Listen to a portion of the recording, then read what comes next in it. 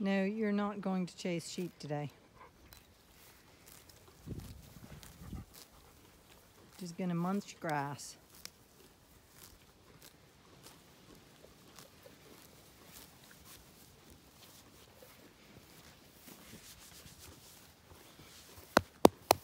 All this dust is coming up as I brush her.